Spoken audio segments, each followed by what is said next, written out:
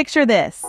An ordinary day at the Texas Department of Motor Vehicles, the humdrum rhythm of paperwork and license renewals, suddenly interrupted by the thunderous roar of a truck plowing through the building. Yes, you heard it right. A truck running through the DMV in Texas. A scene straight out of an action movie. But this was no movie. This was real life.